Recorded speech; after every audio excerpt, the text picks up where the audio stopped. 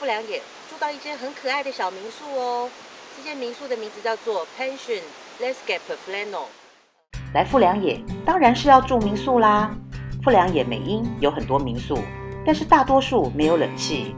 虽然很多人都说北海道夏天晚上很凉快，但是怕热的胖狗为求保险起见，还是特地找了这间有冷气的民宿。更何况这间民宿的位置真好，四周田园的风光一望无际。住民宿就是要住这种地方啊！这间民宿的位置在上富良野，距离著名的日之出公园很近。一进门看到内部的装潢明亮新颖，胖狗以为它是一间很新的民宿。问了老板才知道，原来他已经开了十几年。其实十几年在富良野也算是很年轻的民宿啦。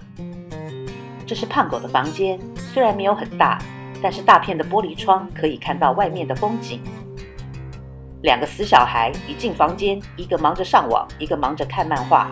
胖狗帮姐姐一家四口订的是和洋式，两个房间彼此相通，两兄妹立刻占据了两张弹簧床。榻榻米就只好留给老爸老妈睡了。每个房间都有自己独立的厕所，但是浴室则要大家共用。还好有两间浴室，所以不太需要等，也打扫得很干净。有趣的是，这还是薰衣草风旅呢。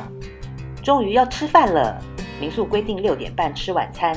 夏天天暗的晚，刚好可以边吃饭边欣赏窗外的风景。其实胖狗会选择这间民宿，很重要的一个原因是因为它的晚餐。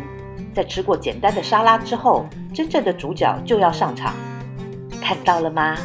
这间民宿的晚餐就是这个铸铁锅料理。锅盖一掀开，热气直往上冲。现在就请罗小兵来为大家服务吧。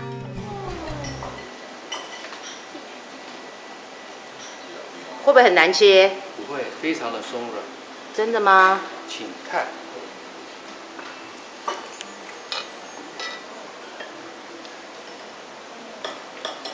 你到底切了什么？骨头。哦。要来吃吃看铸铁锅炖鸡。哇，一挑就拿起来了。先吃一小口，试试看。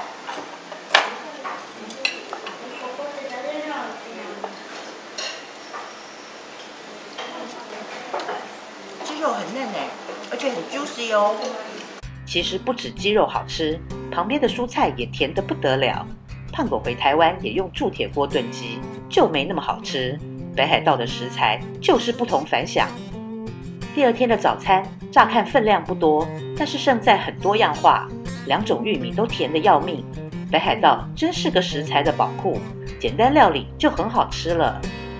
民宿主人佐藤先生人很 nice，Pension Landscape Flannel。